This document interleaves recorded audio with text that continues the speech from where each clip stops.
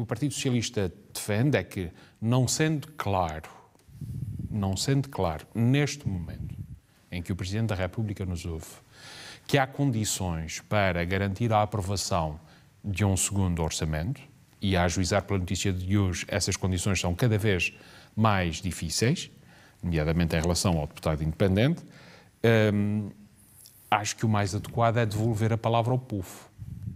E o povo, através do seu voto, uh, dizer o que entende sobre toda esta situação.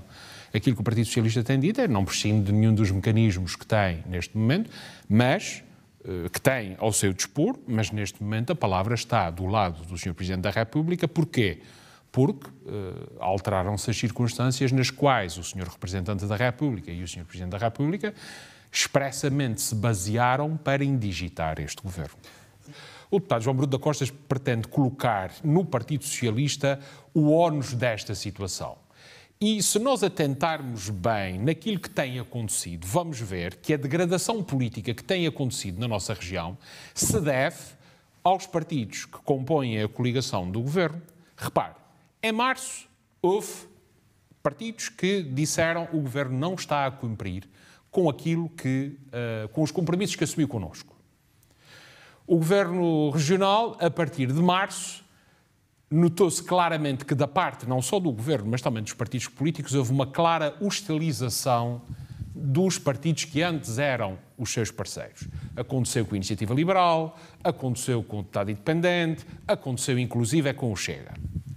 Na preparação deste plano e deste orçamento, se verificar, se tiver o cuidado de verificar, verá que o governo se limitou a fazer aquilo que é da lei, que é os partidos vão ao Palácio de Santana e dizem o que entendem.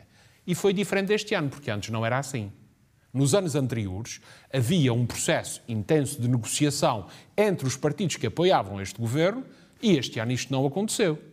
E, portanto, vamos ser claros o Partido Socialista não mudou a sua posição nem a sua apreciação em relação ao rumo que este governo está a imprimir à nossa região e para onde a leva, nem em relação aos documentos.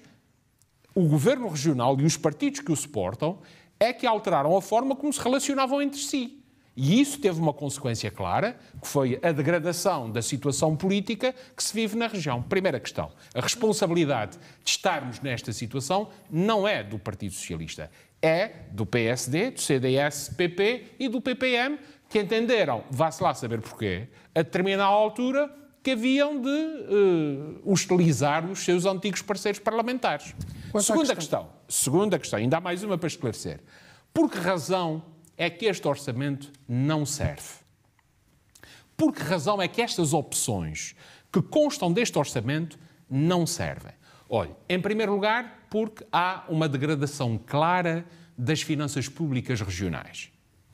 Nós, entre 1 de janeiro de 2021 e 30 de junho de 2023, não são os números do Partido Socialista, são os dados do Banco de Portugal. Seja, a dívida da região aumentou mais de 900 milhões. Essa parte já foi explicada no Parlamento. Há, sim, já mas eu acho que é importante explicar aqui, porque eu não sei se todas as pessoas que nos estão a acompanhar não. acompanharam o Parlamento. Mas temos sim, que avançar. Em segundo lugar, há uma degradação de indicadores sociais.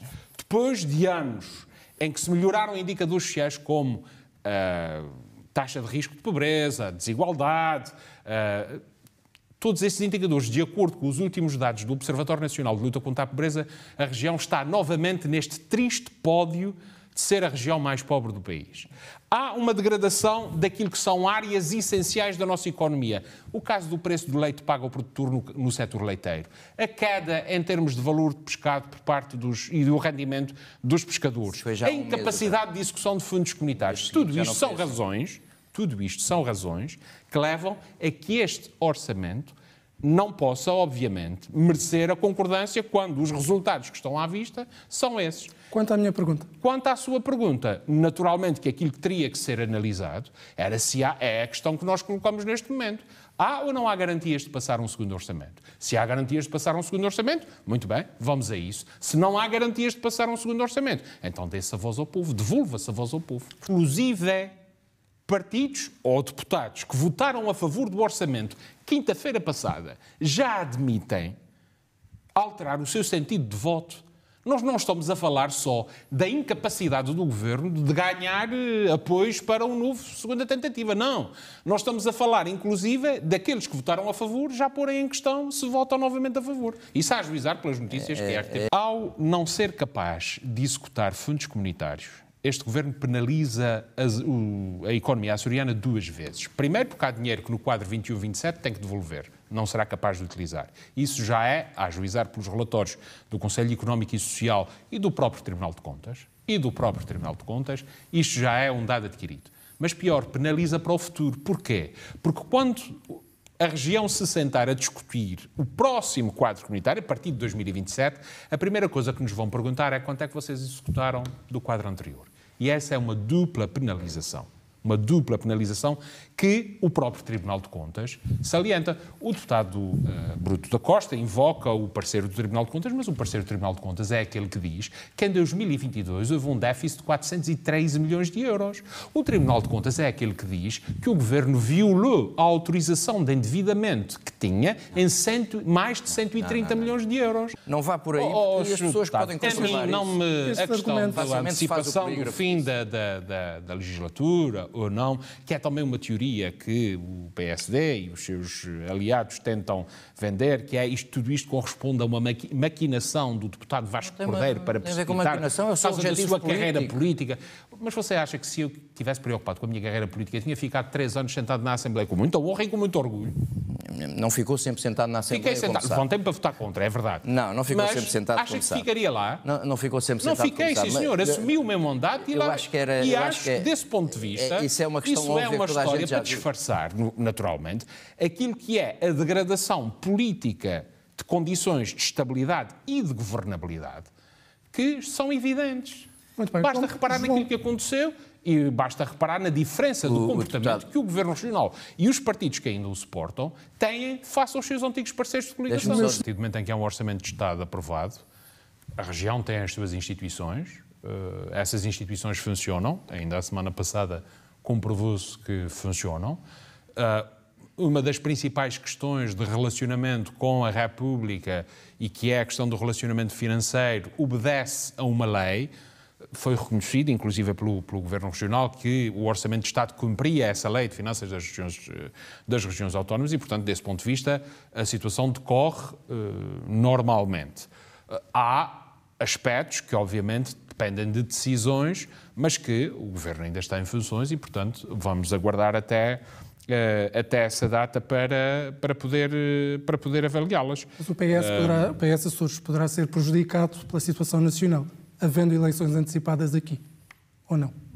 Isso compete aos açorianos a juizarem. É? Aliás, eu acho que, e é também um dos, eh, que eu considero ser um dos eh, problemas, digamos assim, uh, da argumentação do PSD e uh, do deputado João Brito da Costa e de outros ilustres membros da bancada do PSD é que tudo funciona em função do PS e do Vasco Cordeiro. Não, não há intervenção que, no princípio, no meio ou no fim, não meta ou o PS ou o Vasco Cordeiro.